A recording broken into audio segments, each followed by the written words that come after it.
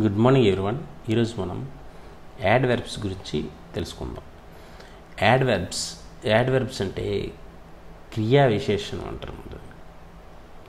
క్రియలను విశేషణాలను మరియు ఇతర ఇతర క్రియా విశేషణాలను విశేషించే పదాలను యాడ్ వెర్బ్స్ అంటారు దీన్ని క్రియా విశేషణం అని కూడా అంటారు. ఈ క్రియా విశేషణానికి వచ్చినప్పటికీ దీన్ని నాలుగు రకాలుగా వర్గీకరించారు. Simple adverbs con conjunctive adverbs interrogative adverbs relative adverbs ఈ సింపుల్ యాడ్వర్బ్స్లోకి వచ్చేటప్పటికి well very fast very fast అనేవి సింపుల్ యాడ్వర్బ్స్లోకి వస్తాయి. ఇక ఇంట్రోగేటివ్ యాడ్వర్బ్స్లోకి వచ్చేటప్పటికి వెన్ వేర్ వై హౌ ఇవన్నీ ఇంట్రాగేటివ్ యాడ్వర్బ్స్లోకి వస్తాయి యాడ్వర్బ్స్లోకి వస్తాయి.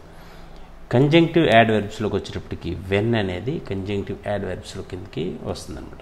ఇక రిలేటివ్ యాడ్ యాడ్వర్బ్స్లోకి వచ్చేటప్పటికి వేర్ వై హౌ వెన్ ఇవన్నీ కూడా రిలేటివ్ యాడ్వర్బ్స్లోకి వస్తాయి.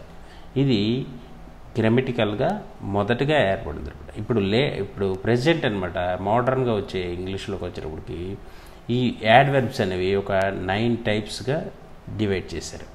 ఏంటంటే adverbs of manner of or quality adverbs of place adverbs of time adverbs of number of frequency adverbs of degree or quantity adverbs of reason adverbs of affirmation or negation interrogative adverbs relative adverbs ఈ విధంగా nine టైప్స్గా ఇచ్చేసారనమాట mention అంటే describe చేశారు. I mean రకాలుగా వర్గీకరించారు. ఈ adverbs of man manner or quality అంటే ఒక వ్యక్తి యొక్క మేనర్ని మన క్వాలిటీని ఏ విధంగా చెప్తున్నామండి? ఫర్ ఎగ్జాంపుల్కి వచ్చినప్పటికి రాము స్పీక్స్ క్లియర్లీ ఇది adverbs of manner or quality కిందకు వస్తుందన్నమాట. ఈ స్పీకింగ్ అనేది ఏ విధంగా క్లియర్గా ఉంది? ఈ విధంగా వస్తుంది అనమాట అయితే యాడ్ యాడ్వర్బ్స్ ఏ విధంగా ఏర్పడుతాయంటే యాడ్జెక్టివ్కి ఎల్వై అనేది చేరడం వల్ల యాడ్ వెర్బ్ అనేది ఏర్పడుతుంది. అయితే ఇక్కడ ఇంకొక ఎగ్జాంపుల్కి వస్తుంది. హీ సింగ్స్ బ్యూటిఫుల్లీ ఇది అతని యొక్క మేనర్ని తెలియజేస్తుంది క్వాలిటీని తెలియజేస్తుంది. ఇక యాడ్వెర్బ్స్ ఆఫ్ ప్లేస్ వచ్చేటప్పుడు హీ లివ్స్ హియర్ అతను ఇక్కడ నివసిస్తున్నాడు. అతను ఎక్కడ నివసిస్తున్నాడు అనేది ప్లేస్ గురించి చెప్తుంది కాబట్టి యాడ్వెర్బ్స్ ఆఫ్ ప్లేస్ అంటాం. ఇక యాడ్వెర్బ్స్ ఆఫ్ టైం గురించి వచ్చేటప్పుడు హీ కేమ్ హియర్ ఎస్టర్డే ఇది యాడ్వర్బ్ ఆఫ్ టైం గురించి ఈ హియర్ అనేది యాడ్వర్బ్ ఆఫ్ టైం గురించి తెలియజేస్తుంది. అదేవిధంగా adverb of number of frequency విషయంలోకి వచ్చినప్పటికీ you you are always welcome ఇది నెంబర్ ఆర్ ఎప్పుడు కూడా అనేది adverbs of number or frequency గురించి చెప్తుంది. అదేవిధంగా adverbs of degree or quality గురించి మనం తెలుసుకునేటప్పుడు షీ సింగ్స్ ప్రెట్టి వెల్ ఈ ప్రెట్టి వెల్ అనేది ఈ డిగ్రీ ఆర్ క్వాంటిటీ గురించి తెలియజేస్తారన్నమాట. అదేవిధంగా he is very strong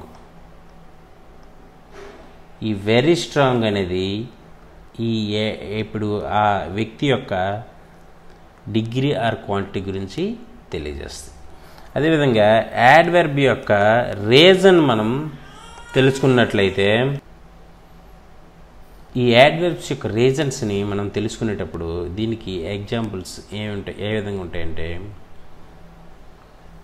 he there four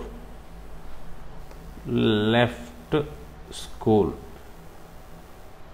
ఈ దేర్ ఫోర్ అనేది యాడ్వర్బ్ యొక్క రీజన్ అనేది తెలియజేస్తుంది. Hence I'm unable to help you hence I am unable to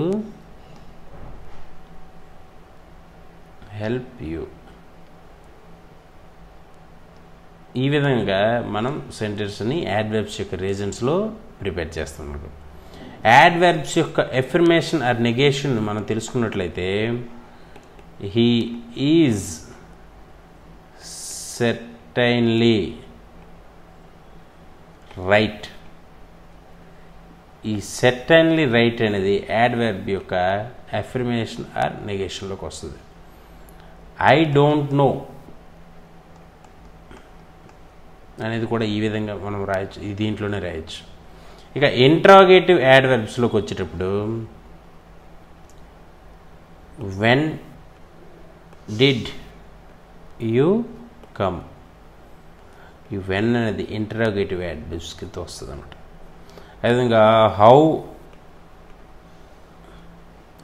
long will you stay here ఈ హియర్ అనేది ఎంత కాలము మీరు ఇక్కడ ఉంటారన్న దాన్ని. ఇంట్రాగేటివ్ యాడ్వర్బ్స్ కిందకి వస్తుందన్నమాట. ఇక మనం రిలేటివ్ యాడ్వర్బ్స్ రిలేటివ్ యాడ్వర్బ్స్లోకి వచ్చినప్పటికీ దీనికి అర్థం ఏంటంటే దీనికి దీనికి దీని కింద రాసేటప్పుడు ఏ విధంగా రాస్తుంది? That is the reason